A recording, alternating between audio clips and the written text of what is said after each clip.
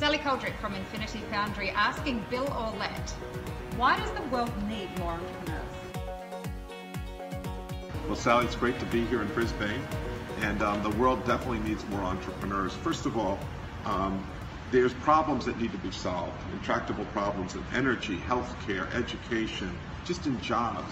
And the people who solve those are not governments, they're not big corporations, it's entrepreneurs. So we need that entrepreneurial energy.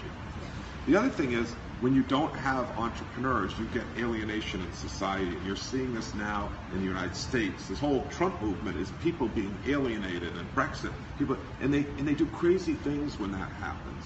And so more entrepreneurs gives people more hope in their life, more more pride of something they own and more rigor.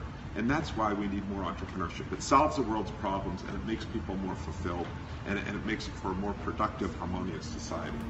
Absolutely, totally agree. so be curious about entrepreneurship